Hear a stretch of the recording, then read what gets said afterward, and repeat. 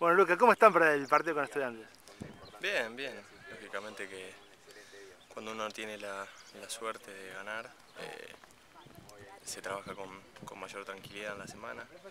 Tratamos de corregir por ahí algunas cosas en las que, en habíamos fallado y bueno, lógicamente que ultimar los detalles para encarar el partido del fin de semana. Bien, ¿cómo asumís este rol de siempre estar a disposición, eh, teniendo en cuenta que la otra vez cuando rotó te pus, eh, jugaste, ahora parece que también te toca de nuevo?